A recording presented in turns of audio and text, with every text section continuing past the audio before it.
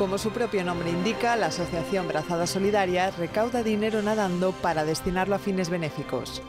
Desde hace 10 años organizan uno de los circuitos de natación más grandes del país con una quincena de travesías.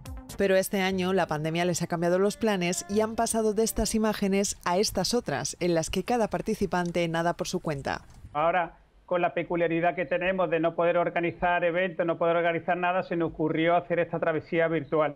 Cada tendrá que hacer los metros que haga en su día a día, en su playa, en su piscina, en su charco. Se han ido pasando el testigo entre ellos para conseguir los kilómetros que unen España con la India. Se habían propuesto conseguirlo durante el mes de agosto y lo han conseguido 10 días antes de que acabase el plazo.